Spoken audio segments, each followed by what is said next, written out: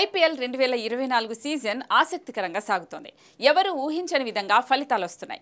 Rajasthan Royals Kolkata Knight Riders Lucknow Super Giants top త్రీలో నిలిచాయి. మరోవైపు స్ట్రాంగ్ టీమ్స్ అయిన Mumbai Indians Royal Challengers Bengaluru వరుసగా ఎనిమిది తొమ్మిది స్థానాల్లో కొనసాగుతున్నాయి. ఢిల్లీ క్యాపిటల్స్ అట్టడుగున నిలిచింది. అయితే స్కెడ్యూల్లో భాగంగా గురువారం వాంకడే వేదికగా ముంబై ఇండియన్స్ ఆర్సీబీ తలపడనుంది. ఈ సీజన్లో ఐదు మ్యాచ్లాడిన బెంగళూరు నాలుగు మ్యాచ్లాడిన ముంబై ఒక్కో విజయం సాధించాయి. దీంతో ప్లే ఆఫ్స్కు తమ అవకాశాలు మెరుగుపరుచుకోవాలంటే ఇరు జట్లు తప్పక గెలుపు బాట పట్టాల్సిందే.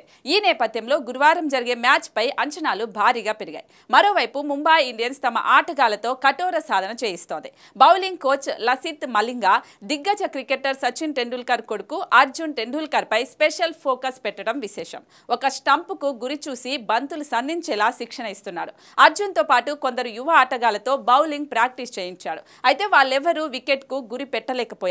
కానీ బంతి అందుకున్న లసిత్ మలింగా వికెట్ను సునాయాసంగా పడగొట్టాడు. దీనికి సంబంధించిన వీడియోను ముంబై ఇండియన్స్ సోషల్ మీడియాలో పోస్ట్ చేసింది. ఇది నెట్టింట వైరల్గా మారింది. నలభై ఏళ్ళ వయసులోనూ మలింగ లక్ష్యం మిస్ అవ్వట్లేదని కామెంట్స్ చేస్తున్నారు. మరోవైపు ఈ సీజన్లో ఆర్సీబీ మ్యాచ్తో అర్జున్ టెండూల్కర్ ఎంట్రీ ఇస్తాడని ఆశిస్తున్నామని సచిన్ ఫ్యాన్స్ కామెంట్లు పెడుతున్నారు.